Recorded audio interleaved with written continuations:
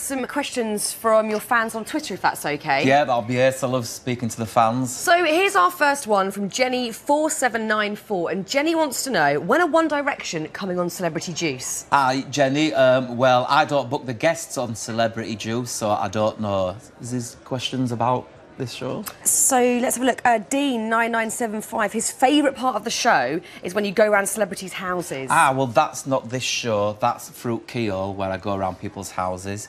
Uh, it's one's about... Yeah, yeah, there's another one. Uh, Maria Pick show. says the best thing about the sketch show is Mad Paul. He's funnier and better than you, Keith. He should get his own show. Is any of this helping Keith Lemon sketch show? Because it sounds like all these things are just slurs.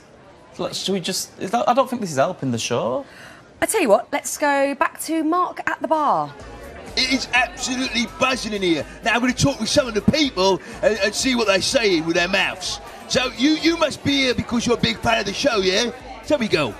No, I'm just an extra. I- It's buzzing in here. Some questions from your fans on Twitter, if that's okay. Yeah, that'll be it. I love speaking to the fans. So here's our first.